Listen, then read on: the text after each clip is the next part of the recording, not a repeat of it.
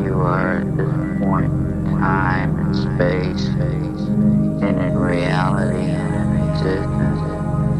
When you look out the window and you're looking back uh, at the most beautiful star in the heavens, most beautiful because it's, it's the one we understand and we know is we're home, it's humanity, it's people, family, love, life, life.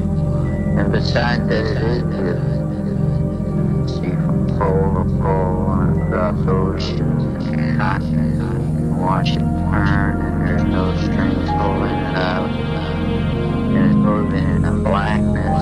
almost beyond,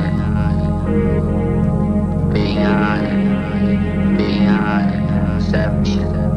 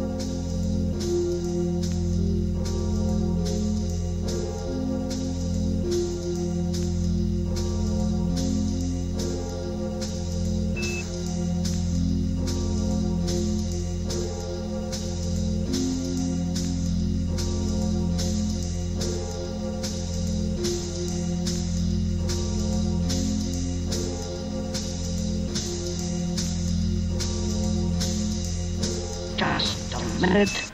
Ladies and gentlemen, I think something is happening. I tell you, gentlemen, science has agreed that unless something is done and done quickly, man, as the dominant species of life on Earth, will be extinct within a year.